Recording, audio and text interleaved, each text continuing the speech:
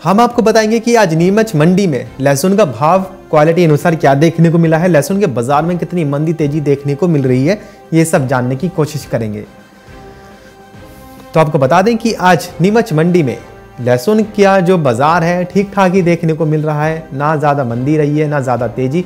ये जब बात करें अगर क्वालिटी अनुसार भावों की तो नया देसी क्वालिटी का लहसुन का भाव नीचे में नौ सौ रुपये से लेकर ऊपर में तैंतीस सौ रुपये प्रति क्विंटल तक देखने को मिला है आज नीमच मंडी के अंदर।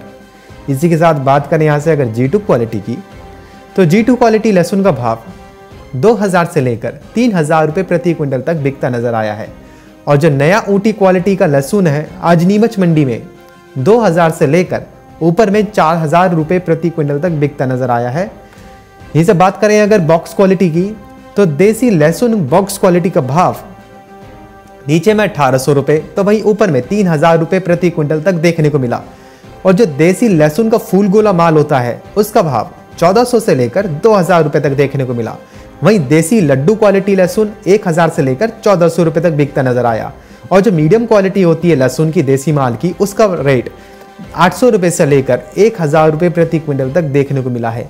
और जो देसी क्वालिटी का हल्का लहसुन होता है, उसका भाव दो सौ से लेकर पाँच सौ प्रति क्विंटल रहा।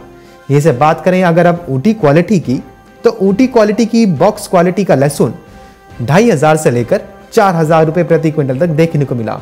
और जो ऊटी लहसुन फूल गोला माल है, उसका दाम दो हज़ार से लेकर पच्चीस सौ रुपये रहा। ऊटी लहसुन फूल गोला का दाम नीचे में दो हज़ार तो वहीं ऊपर में पच्चीस सौ रुपये प्रति क्विंटल देखने को मिला है आज नीमच मंडी के अंदर। वहीं ऊटी लहसुन लड्डू क्वालिटी का भाव पंद्रह सौ से लेकर दो हज़ार रुपये रहा। और जो मीडियम क्वालिटी होती है ऊटी लहसुन की, उसका दाम 1200 से लेकर 1600 रुपए रहा। और ऊटी लहसुन क्वालिटी का हल्की क्वालिटी वाला लहसुन 800 रुपए से लेकर ऊपर में 1400 रुपए प्रति क्विंटल तक बिकता नज़र आया है। तो ये थे नीमच मंडी में आज के लहसुन के क्वालिटी अनुसार भाव।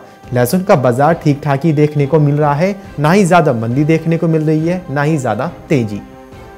Bureau report, market times TV.